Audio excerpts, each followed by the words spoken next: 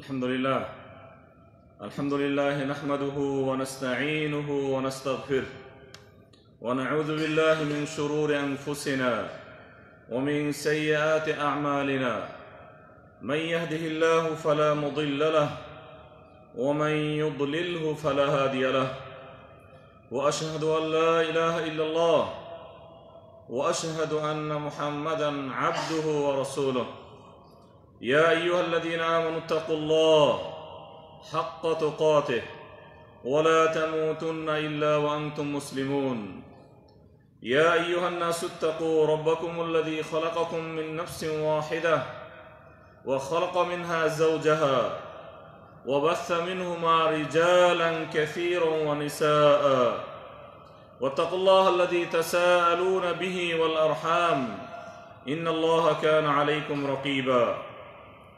يا أيها الذين آمنوا اتقوا الله وقولوا قولا سديدا يصلح لكم أعمالكم ويغفر لكم ذنوبكم ومن يطع الله ورسوله فقد فاز فوزا عظيما أما بعد فإن خير الحديث كتاب الله وخير الهدي هدي محمد صلى الله عليه وسلم وشر الأمور محدثاتها وكل محدثة بدعة وكل بدعة ضلالة وكل ضلالة في النار. أعوذ بالله من الشيطان الرجيم. وما بكم من نعمة فمن الله. عن عائشة رضي الله تعالى عنها أن النبي صلى الله عليه وسلم كان يقوم كان كان يقوم من الليل حتى تفطر قدماه فقالت عائشه لما تصنع هذا يا رسول الله وقد غفر الله لك ما تقدم من ذنبك وما تاخر قال افلا احب ان اكون عبدا شكورا متفق عليه সুপ্রিয় উপস্থিতি আজকে জুমার খুতবায় আমরা ইনশাআল্লাহ আলোচনা করব আল্লাহর গুণকীর্তন করতে হলে আমল আবশ্যক, কর্ম করতে হয়। কেননা শেষ সময়ে আমরা যখন শুধুমাত্র দাবিদার হয়ে বসেছি, আমাদের মাঝে কর্ম কর্ম সম্পাদন দিন দিন কমে যাচ্ছে, কমে গেছে। এই ক্ষেত্রে আমাদের আলোচনা করা উচিত যে আসলে যারা গুণকীর্তনকারী, আল্লাহর প্রকৃত বান্দা, তাদের মাঝে আমল দেখা যাবে, কর্ম দেখা যাবে। আজকে কিন্তু মহরম মাসের এগারো তারিখ, চোদ্দশত চল্লিশ ইজরি সন। আমরা যারা দুটি দিন রোজা রেখেছি, নয় এবং দশে মহারম তথা আশুরাকে কেন্দ্র করে তারও তো আমরা রেখেছি। কিছু ভাই দশ তারিখের সাথে এগারো তারিখে রেখেছেন। আবারও কিছু ভাই নয়, দশ, এগারো, তিনটি দিন রেখেছেন। সবগুলোই সুন্দর। কেউ যদি একটি দিনের রোজা রাখেন, তবুও সেটি কিন্তু বৈধ। কেননা, এ রোজার ঘটনা আমরা খুব ভালো করে জানি। এ রোজা শরীয়ত সম্মত হয়েছে। নবী মুসাল্লাহ আলী যখন মদিনাতে আসলেন এবং রোজা রাখলেন তিনি যখন দেখলেন যে ইয়াহুদরা নাসাররা রোজা রাখছে, তিনি তাদেরকে জিজ্ঞেস করলেন, কি ব্যাপার? তোমরা রোজা রাখছ? তারা কিন্তু উত্তর দিয়েছিল যে এই দিনে নেবী মুসা আলাইসাল্লাম তিনি রোজা রেখেছেন। কেন? কারণ উল্লেখ হয়েছে, নেবী মুসা আলি সাল্লাম তিনি রোজা রেখেছিলেন।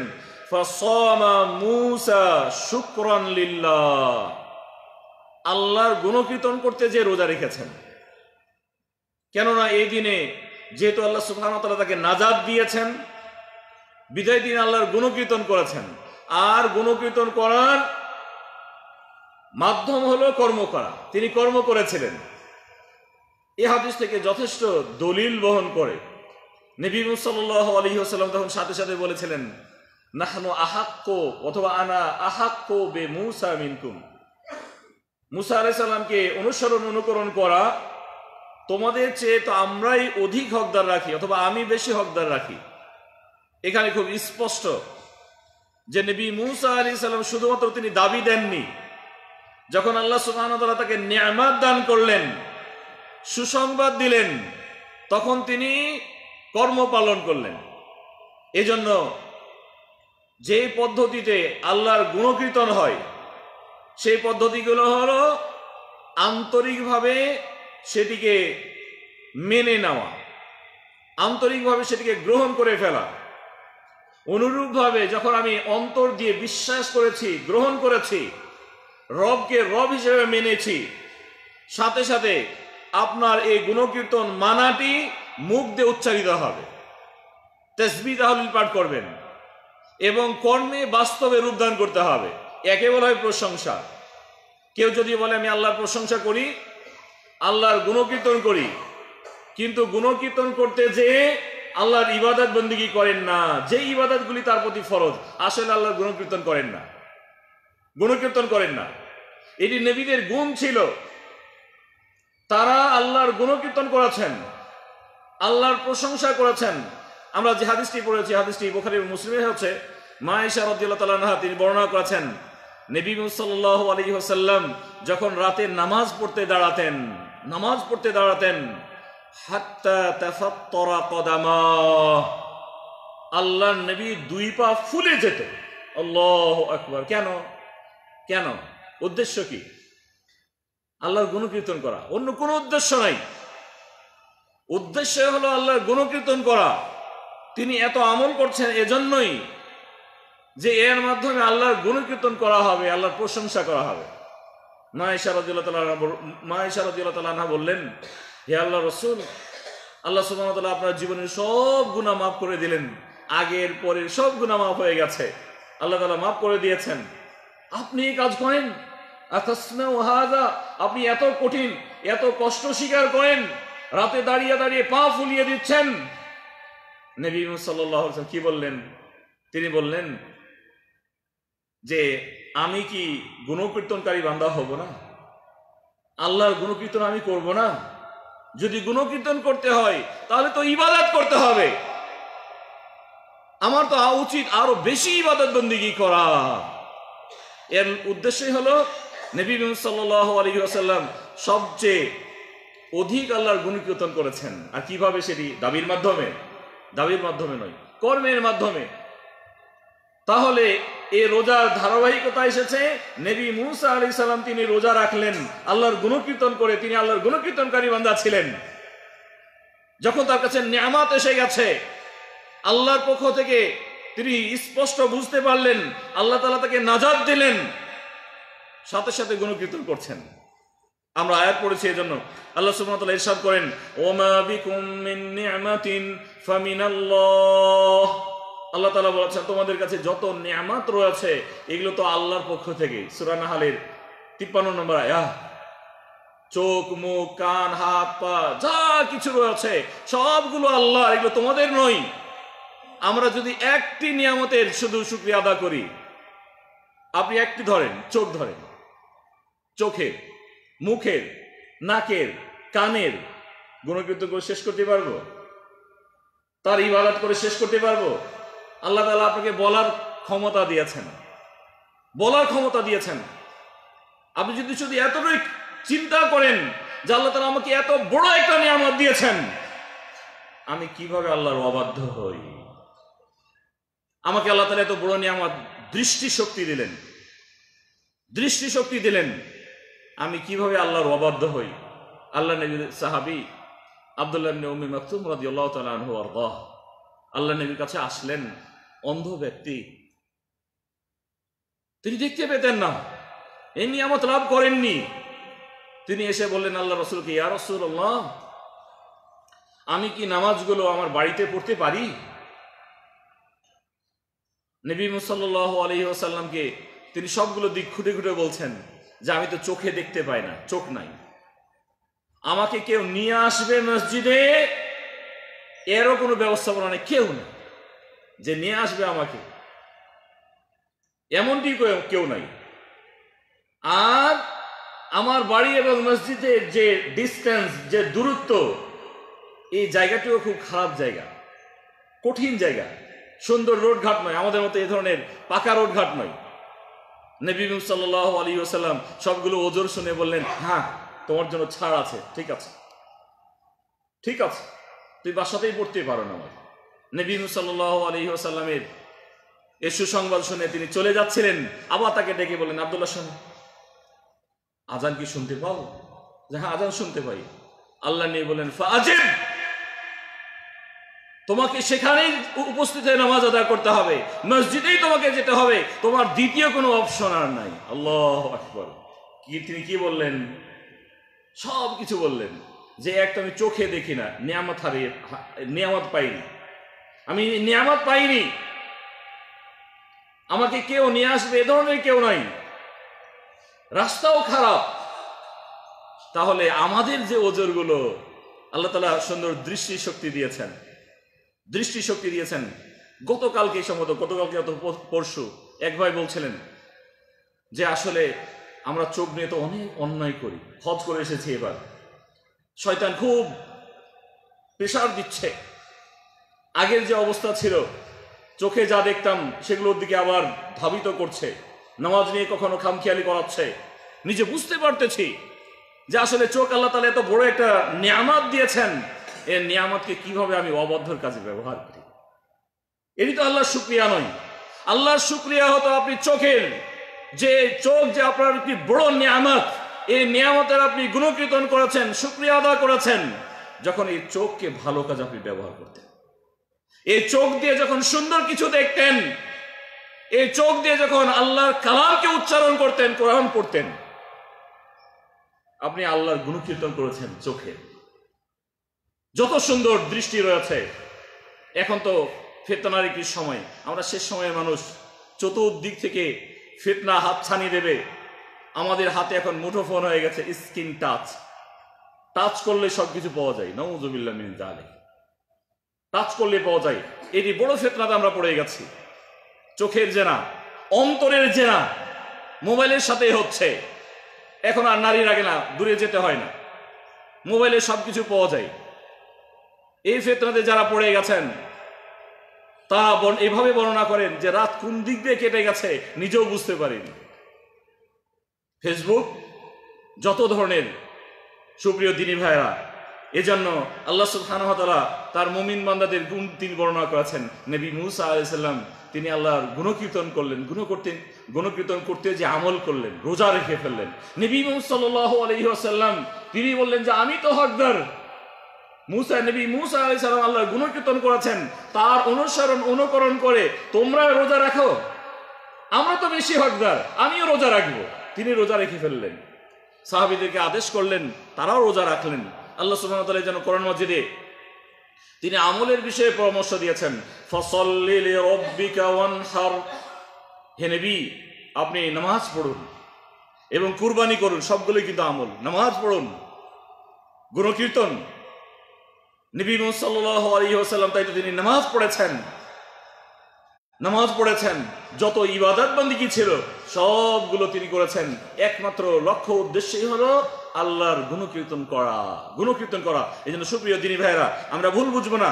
যেখানে আমরা ভুল ভুল করে ফেলেছি, সেটি হচ্ছে গুণকীর্তনকে আমরা হারিয়ে ফেলেছি। জামাতের মাঝ থেকে যদিও দাবির ক্ষেত্রে আমরা দাবি দিয়েছি, কিন্তু আমলের ক্ষেত্রে কিন্তু আমরা কিছুটা সমস্যায় পড়ে গেছি। যে আমরা দাবি দিয়েছি ঠিক, কিন্তু আমল করতে পারিনি। আমরা আমল থেকে অনেকটা দূরে। এই জন্য আল্লাহ সুবহানাহু তাআলা যখন তার মমিন বান্দাদের তিনি গুণ উচ্চারণ করেছেন এবং তিনি তার মমিন বান্দাদেরকে হেফাজতের দায়িত্ব নিয়েছেন। তাদেরকে স্মরণের দায়িত্ব নিয়েছেন। ফাজ কুরুনি আজকুরকুম, আমাকে স্মরণ করো। আর এই স্মরণ আমরা উল্লেখ করেছি যে এক তো স্মরণ হলো আপনার অন্তর দিয়ে, আর এই স্মরণ হলো ইবাদত বন্দিগির মাধ্যমে, যত ইবাদত রয়েছে। এবং ইবাদতের ক্ষেত্রে প্রথম এবং শীর্ষে যে ইবাদত রাখতে হবে সেটি হচ্ছে ফরজ ইবাদত। কেননা সেগুলোর জন্য আমাকে প্রতিনিয়ত হিসাব দিতে হবে। একদিন, এক অক্ত যদি নামাজ না পড়ি, তার জন্য আমাকে হিসাব দিতে হবে। হারাম যদি ভক্ষণ করি, তার জন্য হিসাব দিতে হবে। এ ধরনের যত ফরজ রয়েছে সবগুলোর জন্য আমাকে হিসাব দিতে হবে। আল্লাহ সুবহানাহু তাআলা, তাই তো তিনি বলেছেন ফাজকুরুনি আযকুরকুম তোমরা আমাকে স্মরণ করো। আমি তোমাদের খেয়াল রাখব। ওয়াশকুরুলি এবং আমার গুণকীর্তন করো। ওলা তাকফুরুন এবং আমার অবাধ্য হয়ে যেও না। আমাদের আমার অবাধ্য হয়ে না। এই আমরা বলব, যত নবী এবং রসুলগণ এসেছেন, আল্লাহ সুমতাল্লাহ করণ মজিদে তাদের নাম তুলে তুলে ধরেছেন। এবং তারা যে গুণকীর্তনকারী বান্দা ছিলেন, তাদের তিনি দিকগুলি উল্লেখ করেছেন। আমরা নবী মুসা আলি সাল্লাম সম্পর্কে স্পষ্ট হতে পেরেছি যে নবী মুসা আলি সাল্লাম তিনি আল্লাহর গুণকীর্তনকারী বান্দা ছিলেন। এ ধরনের গুণকীর্তনকারী বান্দা যারা নবীরা এসেছিলেন, তারা আল্লাহর গুণকীর্তন করেছেন। আল্লাহ সুবহানাহু সুরা নাহালের একশত বিশ এবং একুশ নম্বর আয়াত একশত একশত বিশ এবং একুশ নম্বর আয়াতে তিনি নবী ইব্রাহিম আলাইহিস সালামের কথা তিনি বর্ণনা করেছেন, ইন্না ইব্রাহিম উম্মাতান আল্লাহ সুবহানাহু করেন যে নবী ইব্রাহিম আলাইহিস সালাম তিনি একজন একাই এক জাতি ছিলেন এবং কানিতান লিল্লাহ, আল্লাহর গুণকীর্তনকারী তিনি বান্দা ছিলেন, একনিষ্ঠ বান্দা ছিলেন। ওয়ালাম ইয়াকু মিনাল মুশরিকিন, এবং তিনি মুশরিকদের অন্তর্গত ছিলেন না। আল্লাহর যে নিয়ামত রয়েছে, আল্লাহ যে তাকে নিয়ামত দিয়েছিলেন, এই নিয়ামতের তিনি গুণকীর্তনকারী বান্দা ছিলেন। আল্লাহ আকবর। নবীদের এটি গুণ। যত মুকমেন মুকমেনা রয়েছেন, তাদের গুণ হলো তারা আল্লাহর গুণকীর্তন করেন। আল্লাহর গুণকীর্তন করেন। এটি মমিনের গুণ।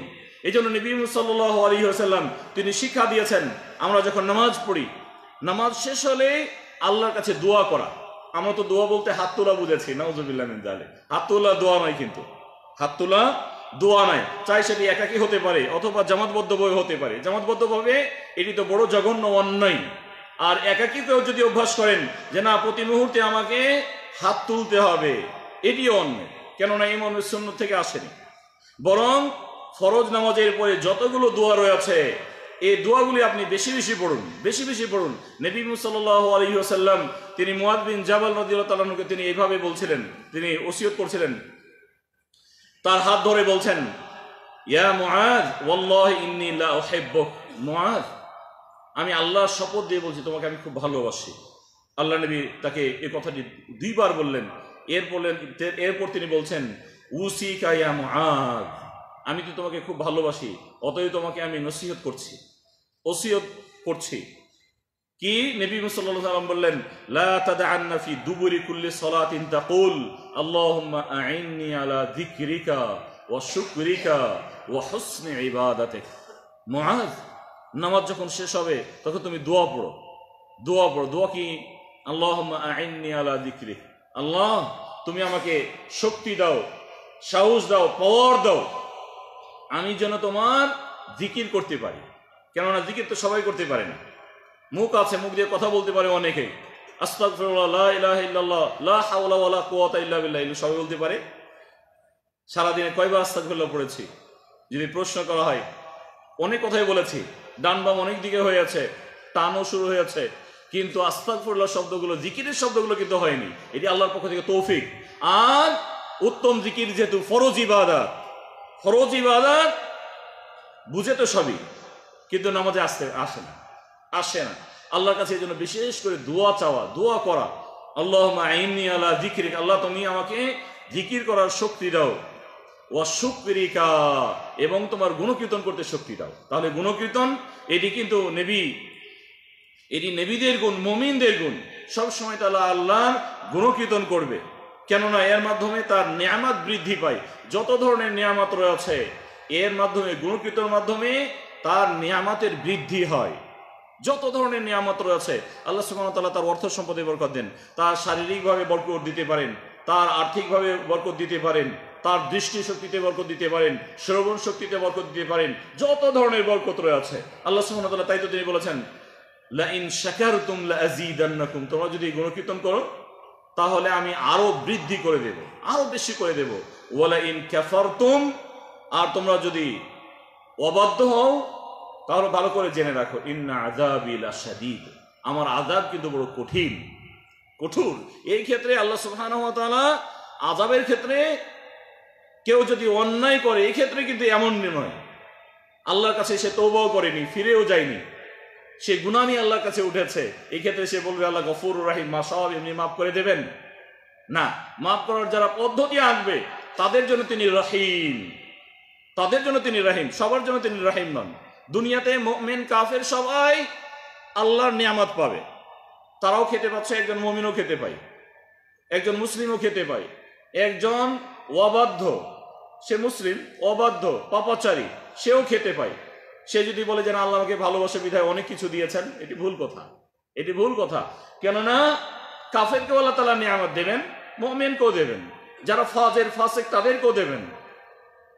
কিন্তু পরকালে যেটি হবে, এই পরকালের অনুগ্রহটি একমাত্র তার মমিন বান্দার জন্য হবে। এজন্য আল্লাহ তালা ক্ষমা করবেন তার ওই বান্দাকে, যিনি ক্ষমা চাবেন। আল্লাহর নিয়ামতকে বুঝবেন এবং বুঝে তিনি পরিপূর্ণভাবে নিয়ামতের হক আদা করবেন। কেননা আল্লাহ সুবহানাহু ওয়া তাআলা যে নিয়ামত দিয়েছেন, নিয়ামতকে সবাই চিনে। যারা চিনে এবং অস্বীকার করে, এটি কিন্তু কুফুরির। যারা কাফের, ফাসেক ফাজে তাদের গুণ।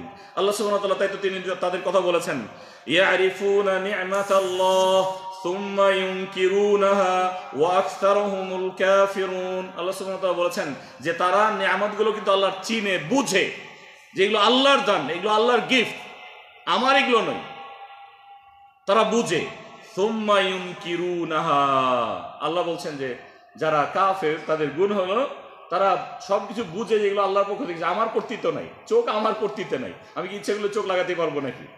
এটি তো পারব না। সম্ভব নয় এটি। এ ধরনের অনেক নিয়ামত রয়েছে। এই নিয়ামতগুলো আমার নয়, এতটুকু সে জানে। কিন্তু এরপরে অস্বীকার করে। অস্বীকার করে। আল্লাহ তাআলা তাদের সম্পর্কে তিনি বলেছেন যে ওয়াকসারহুমুল কাফিরুন, অধিকাংশ যারা হবে, তারা হলো আল্লাহর নাফরমানি বান্দা, আল্লাহকে অস্বীকারকারী বান্দা। এই জন্য প্রাণপ্রিয় দিনী ভাইয়েরা, অবশ্যই বিষয়টি যেহেতু খুব স্পর্শকাতর, আপনি খুব স্পষ্টভাবে বুঝতে পেরেছেন যে আল্লাহ সুবহানাহু ওয়া তাআলা আমাদেরকে এই দুনিয়াতে পাঠিয়েছেন এবং আমাদেরকে নিয়ামত দিয়েছেন। নিয়ামতের গুণকীর্তন করতে যে, আল্লাহর গুণকীর্তন করতে যে, আমাকে ইবাদত বন্দিগি করতে হবে। আমি যদি সারা জীবন রব্বুল ইজ্জাতের গোলামি করেও শেষ করি। এরপর তার একটি নিয়ামতের আমরা হক আদা করতে পারব না।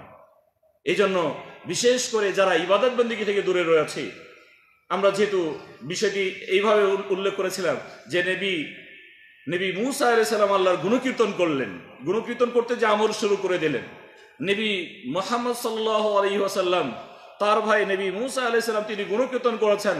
বিধায় তিনি একতেদা করে তিনি আমল শুরু করে দিলেন। তিনি রোজা রাখলেন। আমাদেরও উচিত রোজা রাখা। যদিও অনেকে কঠিনের ভাষাগুলো তো বলেনি যে রোজা রাখা তো অনেক কঠিন। দিন অনেক কঠিন আমার কর্মব্যস্ততা অনেক, কাজ অনেক কঠিন। এগুলো কিন্তু আমাদের প্রতিনিয়ত আছেই, প্রতিনিয়ত আছে। কিন্তু যারা আল্লাহর একনিষ্ঠ বান্দা, তারা এই কঠিনকে কঠিন মনে- মনে করবে না। কেননা নবী সাল্লাহ আলী সাল্লাম রোজার সম্পর্কে বলেছেন যে একটি রোজা কেউ যদি রাখে, তাহলে তার মর্যাদা হলো এক বছরের গুণা মাফ আল্লাহ এর চেয়ে বড় গিফট আর কি হতে পারে? এই জন্য আমরা এইভাবে বলব, এগুলো তো নফল বিষয়। বিশেষ করে আল্লাহর গুণকীর্তন করতে হলে ফরজ যত ইবাদত রয়েছে, সেগুলোকে সুন্দর করতে হবে। এর মাধ্যমে আল্লাহর গুণকীর্তন করা হয়। নেবী, নবী দাউদ আলাইহিস সালাম, আল্লাহ তাআলা তার পরিবারকে, তাদেরকে ডেকে তিনি বলেছেন ই'লামু ই'মালু আলা দাউদ আশ-শুকরা ওয়া কলিলুম মিন শাকুর যে হে দাউদের জাতি, পরিবার, তোমরা আল্লাহর গুণকীর্তন করতে যে ইবাদত করো, আমল করো। আমল করো, আল্লাহ সুবহানাহু আমল করতে বলেছেন এ আমালু আমল করো। এটি হচ্ছে আল্লাহর গুণকীর্তন করা। এরপর আল্লাহ ওয়া তিনি বলেছেন, ওয়া কলিলুম মিন ইবাদিয়াশ শাকুর। কিন্তু আমার গুণকীর্তনকারী বান্দারা কিন্তু সংখ্যায় খুব নগণ্য। আল্লাহ তাআলা তাদের আমল করতে বলেছেন, এজন্য আমাদের লক্ষ্য উদ্দেশ্যই হবে, আমি আমল সুন্দর করতে পেরেছি কিনা, কর্ম করতে পেরেছি কিনা, দাবি সবাই দিতে পারে, কিন্তু কর্ম সবাই করতে পারে না। আর কর্ম করার মাধ্যমে হলো আল্লাহ সুবহানাহু ওয়া তাআলার যে গুণকীর্তন প্রকৃত পক্ষে গুণকীর্তন, সে গুণকীর্তন করা। এই জন্য আল্লাহর কাছে দোয়া করছি, আল্লাহ ওয়া তাআলা আমাদের সকলকে সুন্দরভাবে আল্লাহ সুবহানাহু ওয়া তাআলার আদেশ এবং নিষেধগুলোকে বুঝার তৌফিক দান করুন এবং সেগুলোকে যথাযথভাবে মানার তৌফিক দান করুন আকুলু কওলি হাদা আস্তাগফিরুল্লাহ লি ওয়া লাকুম ওয়া লিসাইরিল মুসলিমিন ফাস্তাগফিরুহু ইন্নাহু হুয়াল গফুরুর রহিম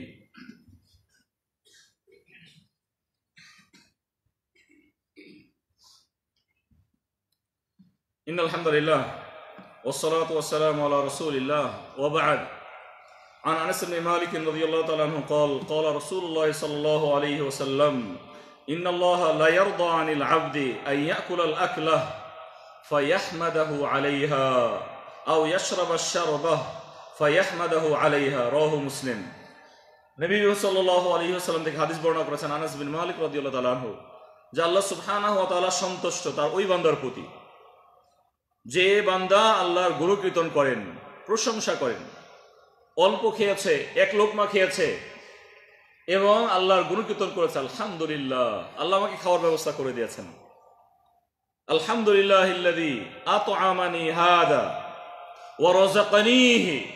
মিন কিন্তু খাওয়ার শেষের দোয়া। সুন্নতি দোয়া হলো, যদি আলহামদুলিল্লাহ বিভিন্ন ধরনের দোয়া পড়া হয়, তবে সুন্দর দোয়া হলো, যেটি সুন্নতি দোয়া সহি সূত্রে বর্ণিত হয়েছে যখন আমরা খাওয়া শেষ করব, প্রথমে তো বিসমিল্লাহ বলব, এটা আল্লাহর গুণকীর্তন করা। যখন খাওয়া শেষ হবে সব কিছু রেফার আল্লাহর দিকে করা। আলহামদুলিল্লাহ ইল্লাদি আতআমানি হাদা অথবা হাদা তোয়াম আল্লাহ তালা এই খাদ্য খাওয়ার আমাকে তৌফিক দিলেন। আলহামদুলিল্লাহ ইল্লাদি আতআমানি হাদা তোয়াম সে আল্লাহর আমি গুণকীর্তন করছি, প্রশংসা করছি, যিনি এই খাদ্য খাওয়ার আমাকে তৌফিক দিলেন, ব্যবস্থা করে দিলেন। আলহামদুলিল্লাহ ইল্লাযী আতআমানি হাদা তুআম ওয়া রাযাকানিহি মিন আমার শক্তি, সামর্থ্য ছাড়াই আমাকে দিয়েছেন। আমি ইচ্ছা করলে খানা সংগ্রহ করতে পারি না। আল্লাহ তালা আমাকে ব্যবস্থাপনা করে দিয়েছেন। আল্লাহ সুবহানাহু ওয়া তাআলা তার ওই বান্দার প্রতি তিনি খুব সন্তুষ্ট হন, খুশি হন। যে ব্যক্তি খাওয়া খায়, খাওয়া শেষে আল্লাহর গুণকীর্তন করে। আলহামদুলিল্লাহ। প্রথমে বিসমিল্লাহ বলেছিল, আল্লাহর গুণকীর্তন হয়েছে, খাওয়া শেষ করে গুণকীর্তন করছে। এই জন্য নবী আলিয়াল্লাম বলেছেন যে আল্লাহ তার ওই বান্দার প্রতি খুব সন্তুষ্ট যে খাওয়া খেয়ে আল্লাহর গুণকীর্তন করে। পানি পান করে আল্লাহর গুণ যত ধরনের সুন্দর আমল রয়েছে, সে আমলগুলি করবে, নফলগুলো করবে। এই মনে করে নয়, যেটি তো নফল, না করলে কি হবে? অনেকে এভাবে বলার চেষ্টা করেন। সাহাবিদের মাঝে এমনটি ছিল না। যেটি তো সুন্নত, এটি তো নফল, এটি তো ফরজ। কয়জন সুন্নত পালন করে? এখন কয়জন ফরজ নামাজের পরে সুন্নত পড়ে? অনেকে কিন্তু দলিল হিসেবে গ্রহণ করেন যে এই যারা আমরা প্রবাসে রয়েছে, বিশেষ করে সৌদি আরবে, যে এ দেশের ভাইয়েরা তো নামাজ না পড়েই চলে যায়। নওজবিল্লাহ তাহলে এটি একটি বানাওয়াট কথা। আমাদের আমাদের বাহারিয়ার বাহারিয়ার ভাইদের মাঝে নাও থাকতে পারে, কেননা তারা মাসাল্লাহ এদিক দিয়ে ঠিক আছে, অন্তত সুন্নতটা পড়ার অভ্যাস রয়েছে। যারা ঘরে পড়ার অভ্যাস রয়েছে, তারা বের হতে পারে। তবে সবচেয়ে সুন্দর হলো, কিছুক্ষণ অপেক্ষা করা। কিছুক্ষণ অপেক্ষা অন্তত সুন্নতি দোয়াগুলো পড়া। اللهم انت السلام ومنك السلام تبارك يا ذا الجلال والاكرام لا اله الا الله وحده لا شريك له له الملك وله الحمد وهو على كل شيء قدير এর অনেকগুলো দোয়া রয়েছে সূরা নাস ফালাক পড়া পাঁচ ওয়াক্ত নামাজের পরে এগুলো পড়ে এরপরে আস্তে ধীরে যাওয়া যদিও খানার বিশেষ করে যারা আমরা এখানে রয়েছি ক্যাটারিং পদ্ধতিতে খানা খানা পাওয়া যাবে ভাই খানা পাওয়া যাবে এটা আগের পরে এই জন্য এই বিষয়গুলো আমাদেরকে বিশেষ করে খেয়াল করতে হবে যে আল্লাহর গুণকীর্তন যেন হয়। ফরজ এটি সুন্নত বলে কেউ ছেড়ে দিয়েছে, তাকে দলিল হিসেবে গ্রহণ করে না পড়া এটি নেহাত বোকামি ছাড়ার কিছু নয়। আপনি নিজের ক্ষতি করেছেন, নিজের ক্ষতি করেছেন। এই জন্য এদিকে আমাদেরকে অ্যাক্টিভ হতে হবে। বারবার অনেক ভাইয়েরা যারা এখানে দায়িত্বশীল রয়েছেন, তারা এই বিষয়গুলো কিন্তু খুব খেয়াল করেন। খেয়াল করেন যেন আমাদের ইবাদত বন্দিকে সুন্দর হয়। এই জন্য বারবার আমরা যারা রয়েছি, দায়ীরা আমাদেরকে ভাইয়েরা স্মরণ করিয়ে দেন যে আমাদের ভাইদেরকে এই বিষয়ে নসিহত পেশ করো। যে তারা কেন তাড়াহুড়া করে? না, এটি উচিত নয়। আমরা সবাই বিবেকবান। এটি তো রবের জন্য করি, এটি প্রথম অংশ। এরপরে বাকি অংশ, দুনিয়ার যে অংশ, এটি তো খুব সহজ কথা, এটি আমরা করতে পারব। এজন্য আমরা শেষ করব আজকের আলোচনা। যেহেতু নবী সাল আলী ওসাল্লাম তিনি অধিক হারে ইবাদত বন্দিগি করতেন এবং ইবাদত বন্দিগি সম্পর্কে তিনি আমাদেরকে সুন্নতি যে পদ্ধতি সে পদ্ধতি শিক্ষা দিয়েছেন। আল্লাহ ওয়া তিনি ইবাদত বন্দিকে আদেশ করেছেন। অতএব আমরা আমাদের যে অংশটুক আল্লাহর গুণকীর্তন করতে যে করব। এটি আমাদের নৈতিক দায়িত্ব। আল্লাহ তাআলা ইরশাদ করেছেন যে, তোমরা প্রশংসা করো, আমি আরও বাড়িয়ে দেব। এটি আমাদের লক্ষ্য উদ্দেশ্য। আমরা শেষ করব নেবী নেবী নেবী মুসা আলী সালাম যেহেতু আল্লাহর প্রশংসা করেছেন, সাথে সাথে আরেকটি বিষয় আমরা যে বিষয়টি আমরা উল্লেখ করতে পারিনি সেটি করব, যে আল্লাহর গুণকীর্তন হয়, যত ধরনের আল্লাহর নাফরমানি রয়েছে, সেগুলোকে বর্জন করার মাধ্যমে। এটি আল্লাহর গুণকীর্তন করার আরেকটি সুন্দর পদ- পদ্ধতি। যত ধরনের নাফরমানি রয়েছে, চোখের যদি নাফরমানি হয়, তাহলে চোখের নাফরমানি থেকে বিরত থাকা, হাতের যদি নাফরমানি হয়, হাতের মাধ্যমে যে অন্যায়গুলি হবে, সেটি থেকে বিরত থাকা, পায়ের যে নাফর- নাফরমানিগুলো হয় আল্লাহর অবাধে পাকে ব্যবহার করা, সেগুলো থেকে বিরত থাকা। একজন মানুষ তাহলে আল্লাহর গুণকীর্তন করবে? যত ধরনের অন্যায় রয়েছে, চোখের অন্যায়, কানের অন্যায়, মুখের অন্যায়, হাতের অন্যায়, পায়ের অন্যায়, অঙ্গ প্রত্যঙ্গের অন্যায় থেকে নিজকে মুক্ত রাখবে। সে প্রকৃতপক্ষে আল্লাহ গুণকীর্তন করেছে? অতএব আমরা এইভাবে বলব, আল্লাহর কাছে আমরা দোয়া করি, আল্লাহ সুবহানাহু ওয়া তাআলা আমাদের সকলকে সুন্দরভাবে দিন বুঝার তৌফিক দান করুন। যে বিষয়গুলো, যে ইবাদতগুলো আমাদের প্রতি ফরজ সেগুলোকে ফরজ জেনে সুন্দরভাবে আদা করার তৌফিক দান করুন যত নফল রয়েছে সুন্নত রয়েছে নবী সাল্লাল্লাহু আলাইহি ওয়াসাল্লাম উদ্বুদ্ধ করেছেন সেগুলোকে অধিক হারে পালন করার তৌফিক দান করুন ইন্নাল্লাহা মালাইকাতাহু ইউসাল্লুনা আলান নবী ইয়া আইয়ুহাল্লাযীনা আমানু সাল্লু আলাইহি ওয়া সাল্লিমু তাসলিমা اللهم صل على محمد وعلى آل محمد كما صليت على إبراهيم وعلى آل إبراهيم إنك حميد مجيد اللهم بارك على محمد وعلى آل محمد كما باركت على إبراهيم وعلى آل إبراهيم إنك حميد مجيد. اللهم أعز الإسلام والمسلمين. اللهم أعز الإسلام والمسلمين. اللهم أعز الإسلام والمسلمين. اللهم انصر من نصر الدين وجعلنا منهم. اللهم انصر من نصر الدين وجعلنا منهم. اللهم اخذل من خذل الدين ولا تجعلنا منهم. اللهم اخذل من خذل الدين ولا تجعلنا منهم. اللهم أرنا الحق حقا وارزقنا اتباعه. اللهم أرنا الحق حقا وارزقنا اتباعه. اللهم أرنا الباطل باطلا وارزقنا اجتنابه. ربنا آتنا في الدنيا حسنة وفي الآخرة حسنة وقنا عذاب النار. عباد الله رحمكم الله. إن الله يأمر بالعدل والإحسان وإيتاء ذي القربى وينهى عن الفحشاء والمنكر والبغي. واذكروا الله يذكركم واشكروه على نعمه يزدكم ولذكر الله أكبر والله يعلم ما تصنعون.